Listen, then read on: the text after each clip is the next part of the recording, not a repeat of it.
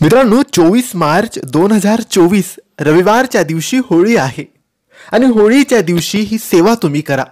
तुमच्या सर्व अडचणी होळीच्या अग्नीत जळतील जळून खाक होतील तुमचे विघ्न दूर होतील तुमच्या समस्या संकट दुःख दूर होतील.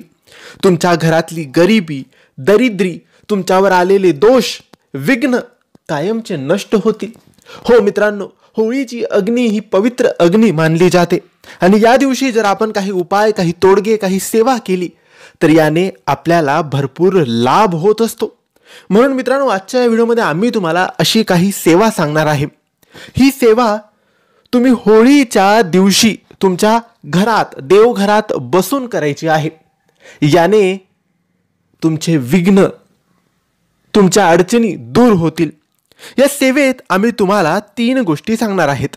या तीन गोष्टी तुम्हाला करायच्या आहेत. पहिली गोष्ट आहे ती म्हणजे तुम्हाला एक माळ जप तुमच्या देवघरासमोर बसून करायचा आहे. तो म्हणजे ओम नारायणाय नमः. ओम नारायणाय नमः. या मंत्राचा जप एक माळ झाल्यानंतर तुम्हाला पुन्हा एक माळ जप. ओम होली काय नमः. ओम होली काय नमः. या मंत्राचा जप एक माळ करायचा आहे.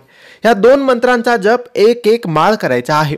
आणि त्यानंतर तुम्हाला अकरा तांदळाचे दाणे घ्यायचे आहेत. अखंड घ्यायचे. कुठलेले तुटलेला फुटलेला दाना घ्यायचा नाही. आपल्या घरात जे तांदूळ असतील त्यातून अकरा दाणे तांदळाचे घ्यायचे आहेत. आणि एक एक दाना आपल्या हातात घ्यायचा उजव्या हातात.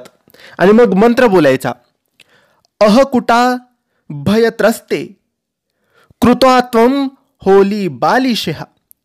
अतस्वा पूजयिष्यामी भूती भूती प्रदायिनी मा मित्रांनो एक वेळेस बोलून झाल्यानंतर आपल्या हातातला तांदळाचा दाना समोर ठेवायचा देवघरात. पुन्हा एकदा तांदळाचा दाना उचलायचा आणि पुन्हा हा मंत्र बोलायचा. असं अकरा वेळेस अकरा तांदळाचे दाणे घेऊन हा मंत्र अकरा वेळेस तुम्हाला बोलायचा आहे.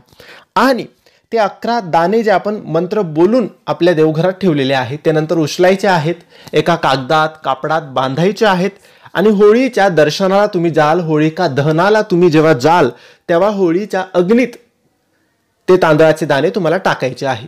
याने तुमचे सगळे विघ्न दरिद्री गरिबी संकट समस्या अडचणी दूर होतील नष्ट होतील. तर मित्रांनो माहिती तुम्हाला आवडली असेल तर लाईक आणि शेअर करा. काही प्रश्न असतील तर कमेंट्सद्वारे विचारा. आमच्या चॅनलला सबस्क्राईब करायला विसरू नका. धन्यवाद. श्री स्वामी समर्थ.